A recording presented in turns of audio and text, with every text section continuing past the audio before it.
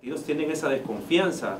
Los miembros de Acción Ciudadana dieron a conocer detalles sobre el financiamiento que recibió el partido FMLN en 2016, el cual fue de 2.061.843.73 dólares, señalando que este monto cuenta con algunas irregularidades. Eh, nosotros hemos detectado en 2016, por ejemplo, que cerca de 800 mil dólares que recibió el partido FMLN no tienen claro el origen. De Según los miembros de Acción Ciudadana, los datos que ha presentado el partido de izquierda al Tribunal Supremo Electoral no concuerdan con los que maneja el Ministerio de Hacienda.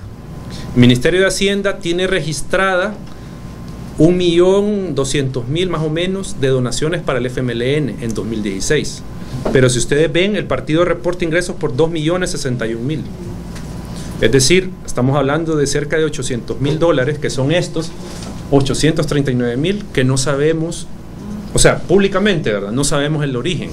En este informe también se presentaron los ingresos obtenidos por el PCN en 2016, los cuales ascienden a 50.338.75. El Partido de Concertación Nacional tiene 36 donantes en el año por 50 mil dólares que ese es más o menos el ingreso que ellos han reportado. En agosto de 2014, la Sala de lo Constitucional de la Corte Suprema de Justicia ordenó a los partidos revelar quiénes son sus financistas, pues de lo contrario no podrán inscribir sus candidatos para los comicios y tampoco recibirán el pago de la deuda política que les otorga el Estado de acuerdo a la cantidad de votos que reciben en la última elección.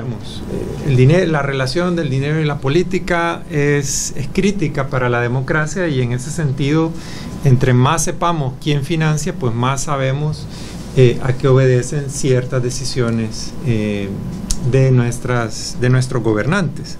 Además, en la conferencia de prensa, los representantes de Acción Ciudadana se mostraron preocupados ante la falta de tecnología a utilizar en el conteo de votos en las elecciones de 2018, por lo que presentaron una aplicación programada con papeletas que se utilizaron en 2015, en la cual se pueden ejecutar todas las modalidades de votación, así como de conteo. Al tribunal a que valore este tipo de alternativas, no necesariamente esta, que valore este tipo de alternativas que puedan contribuir a agilizar el proceso de escrutinio, garantizar el resultado y así evitar cualquier cuestionamiento respecto de la posibilidad de fraude o de duda sobre el resultado electoral, porque lo que nos interesa es que haya certeza del resultado, independientemente cuál sea el partido que sea favorecido.